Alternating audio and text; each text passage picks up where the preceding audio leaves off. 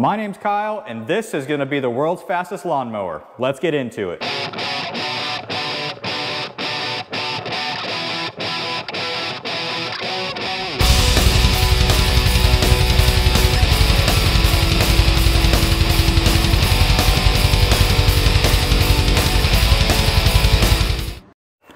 So what is this thing anyway? Well, it is a lawnmower that I have put a motorcycle engine into. This has a Kawasaki KZ440 parallel twin motorcycle engine in it uh, with full motorcycle transmission, sequential, and I built an entire frame around the original bodywork so that I could actually house the extra power and extra weight of this engine. There's also a lot of other things going on with it, but in this video, I'm going to show you exactly how we got everything from the steering, the lights, the rear axle, the brake, and the shifter set up and got us to exactly where we are at this point in time on this project. To get to this point, I had to start with making my design, figure out what I was actually gonna build. Uh, I decided to start off by laser scanning the actual lawnmower as it sat in its original form. Uh, I used a laser scanner that I borrowed from work that is actually super cool. Within a few minutes of walking around the lawnmower, I was able to create a 3D model that's perfectly accurate in my computer. I then used this model that was generated to use Fusion 360 and design everything else around it. Uh, I created the frame, I created the custom length rear axle, where the pillow blocks went, the engine mounts, and of course the suspension up front that we'll take a look at in just a minute. All of this was done in the computer before I made my first cut or before I even started taking apart the lawnmower.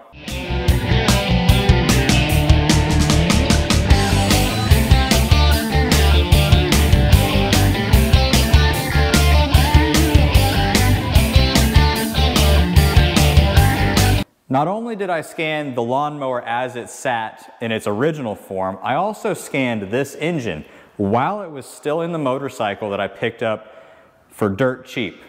It was in rough shape, but I was still able to scan this engine and then in the computer digitally pull the engine out of the motorcycle frame before I did any work on it. This allowed me to set these engine mount locations and figure out if this thing was even going to fit at all.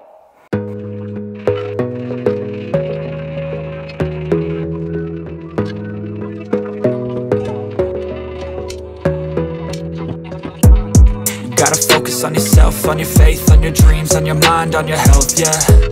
You gotta work, never tell, keep your head down, find what you love and excel, yeah. Push and pull and repel any hate, go create what you want, feel compelled, yeah.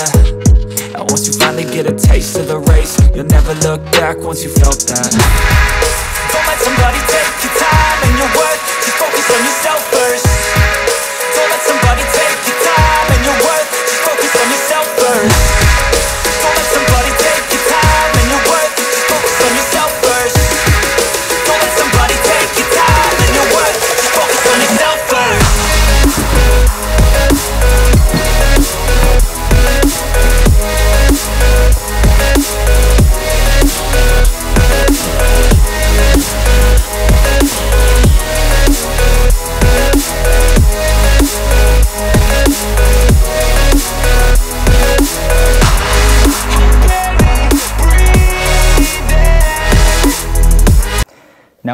we have a solid front axle with a single central pivot.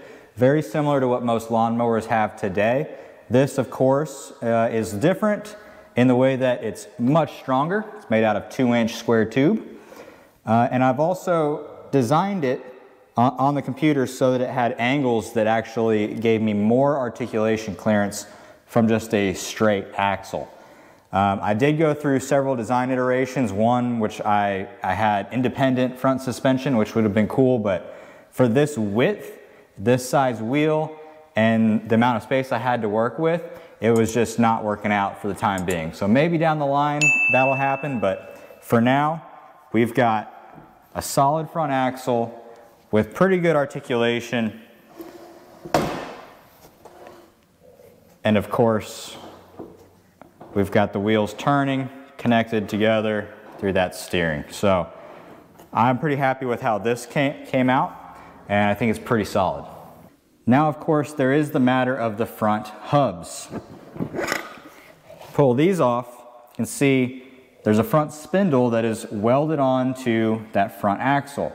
Now this front spindle came with hubs that had a three hole pattern. That didn't match up with the four hole pattern that came on my wheels. These are the same wheels I'm using in the rear. I could have just drilled uh, the three hole pattern right into the wheels. That would have been the fast solution. That would have been, uh, in my opinion, kind of a cop out, a shortcut. And I decided to go with actually cutting out some pieces on the CNC plasma that allowed me to weld ex an expansion onto the hubs themselves and then drill the proper four hole pattern. I then actually welded in studs for these uh, for the wheel lug nuts that match the rear. Don't let somebody take your time and your worth, just focus on yourself first.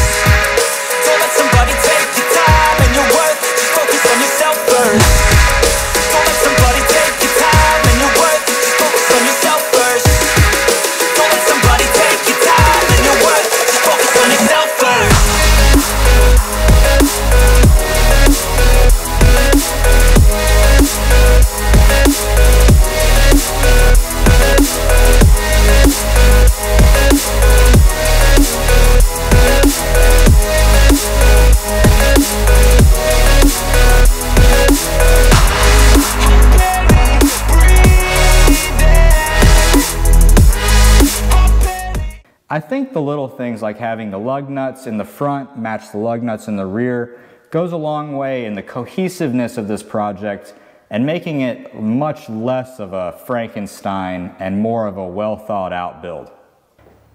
Now the steering on this actually turned out to be more of a challenge than I had anticipated. Originally I planned on just running some universal joints around this big engine and get down to the rack and pinion at the bottom. Uh, in theory, that was fine, but in reality, it's just too congested and the engine is directly in the way of every routing that I had possible. So I just, after I thought about this for quite a while, I decided that I needed to just drop the steering straight down and I found that using a sprocket with it that's supported by a top pillow block uh, coming off of the steering wheel here, uh, that and then dropping it straight down to another chain and pillow block was the best way to get around the engine. This allowed me to actually stop right here with the steering and drop it all the way down to underneath the engine where it was no longer in the way and I wasn't going to be interfering with the drive sprocket or the shifter. So this took a little bit of thinking to figure out, but I'm really happy with how it turned out. Uh, kind of a complicated looking solution, but it works really well and it's actually very simple in, in practice. I'm pretty happy with how it turned out.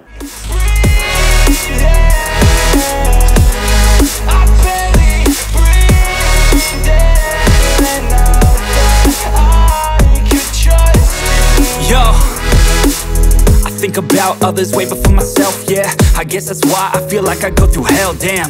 Wasting time on your dreams instead of mine, yeah. About to turn this franchise around on a dime, man.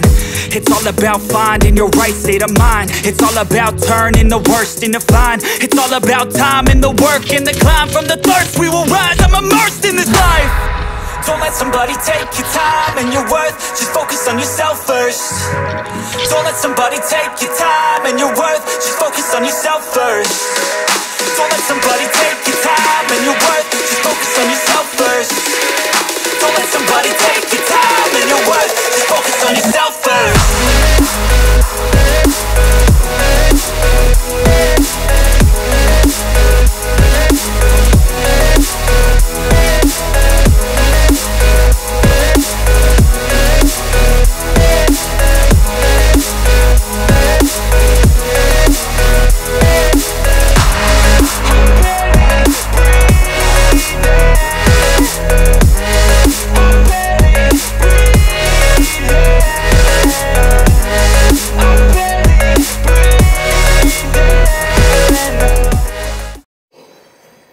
we can't forget about the rear end here. This is where the power hits the ground. Uh, back here we've got a one inch solid racing rear axle from Go Power Sports. it's running through two heavy duty pillow blocks that are underswung on the frame, which uh, allowed me to get a little bit more ground clearance with this size wheel and tire. Of course, we've got our drive sprocket. Uh, we're using the same hubs as up front. And right here, we have the only brake that's gonna be on this. Uh, rear brake, rear disc brake that's hydraulic. I still have to pipe that one in, uh, but it is mounted here right now off of this steel bracket that I designed up and cut out on the CNC.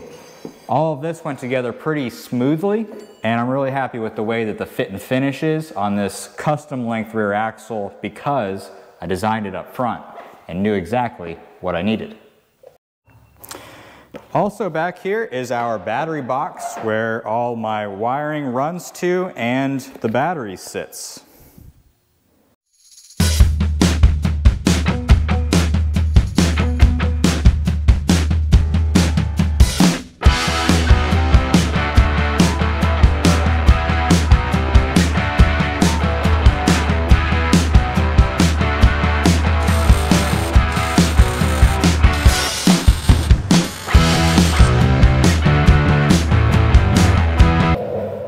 Now let's talk about the tires. Front and rear, I've got 19 inch street compound tires. And you might be asking yourself, well, why didn't you go with big knobby tractor tires? And having a shallower tread pattern seemed like a better way to go. Uh, it'll probably give me a lot better grip on pavement, uh, and then it'll be a lot more fun in grass and off-road to be able to slide it around uh, and drift this thing. They were a little bit of a challenge to get mounted. I didn't, I don't have a tire machine, so I had to use tire spoons and they put up quite a fight. But once I got them, the best way that I found to actually get air in them for the first time was to use the starting fluid and lighter technique. Never done it before, and it worked perfectly on all four of these tires. I cannot believe that worked. Now every high-speed lawnmower needs a gas pedal to go real fast, so I made one. Here we've got our gas pedal that I designed on the computer out of a few different pieces, but it's primarily a 16 gauge piece of sheet metal that is folded together, a few pieces of eighth inch plate steel for the pedal itself, and a 3D printed drum that the throttle cable actually wraps around, which gives it its pulling strength. This worked out really well. It's all hooked up. You can see the carburetors are moving there. I'm pretty happy with how this turned out. And I think it's gonna be just fine for a gas pedal on this one. Now I know what you're thinking at this point and that is why. Why am I spending the time, the energy, and the money on putting a motorcycle engine into a beat up old lawnmower that doesn't even cut grass? Well, the answer is not that I want to have the world's fastest lawnmower, although I do think that drifting it around in the yard does sound like a pretty good time. The answer of why I'm doing this is for the build itself. Hopefully over the course of this project, you see my skills from welding, metal fabrication, part design, electrical, all of these things uh, develop. I know looking back on some of the welds that I did a long time ago on this project, on the frame, they look terrible. Some of the new welds look a lot better. So to me, that is progression of skill sets. I, I enjoy the challenge. I enjoy resolving these kinds of challenges and fabricating things uh, that at the end of the day is going to give me a running and driving toy to play around with. I hope you agree that that's a worthwhile use of time. Uh, I think it is anytime you're learning a new skill set and developing skills and learning stuff. So uh, let's get back to seeing what we've put together on this so far. Now that we've got a gas pedal over there, we need a shifter. So the shifter I have run to right here so far. Um, I'm going to extend it up and give it a nice long throw. Um, but it is connected. You can hear it clicking through the gears. Uh, it goes from here to a pillow block that supports it.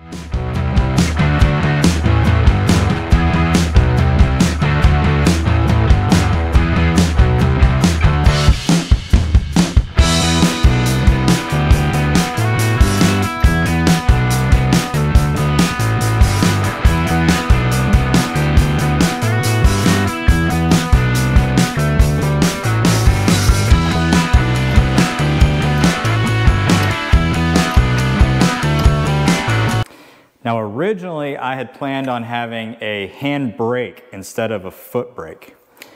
Um, this is what I came up with. Um, welded it all up, got it this far, designed the bracket to hold the, uh, the actual master cylinder, and it, it works really good. Uh, I was just about to weld it in and tack it onto the frame. Um, it was gonna be over on the right-hand side. But then I realized that with the clutch going to a hand clutch, if I wanted to initiate a drift, I needed to pull in the clutch and lock up the rear brake. That meant both hands off the wheel, which was not uh, the best way, I don't think. So I decided, even though after I had already put all this effort into designing this up and having it look really good, um, that I needed to go with a hand clutch and in turn, I needed to have a foot brake. So this is not going on, but pretty cool anyway. Now up front, I have my cooling fan that is mounted on this custom made shroud and fan bracket that I made up.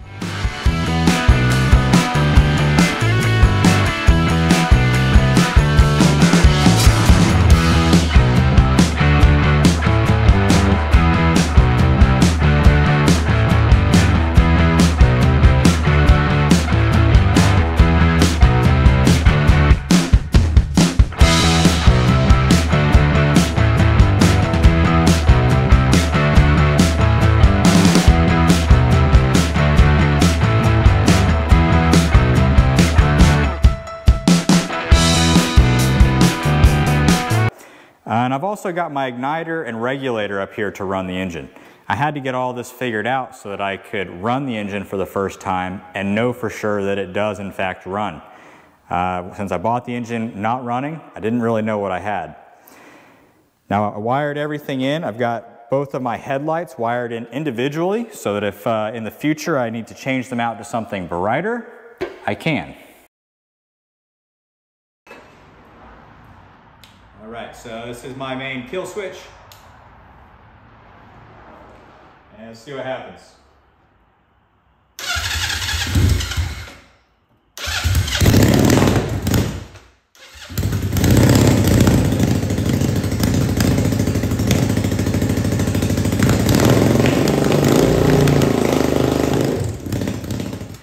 All right, guys, you are pretty much up to speed on this engine swapped lawnmower project. This has been about a year's worth of video footage condensed down into 20 minutes.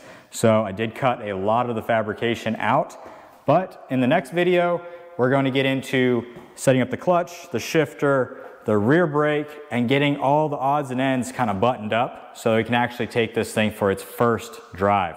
I'm pretty excited about that. I think it's gonna be pretty cool and pretty fun. So if you like this video, make sure you hit the like button, subscribe to the channel so you see the next videos. Um, you can see the actual first drive and all the fun I'm gonna have with this. If you think that there's something I should do to this as far as a wheelie bar, NOS, supercharger, I don't know, whatever it is, leave a comment down below. Let me know what you think I should do with this project um, after I get it running, what I should do differently. Any of the good ideas, I'll definitely consider uh, adding to this project if I think they sound like fun. So thanks for watching this video and I will see you in the next one.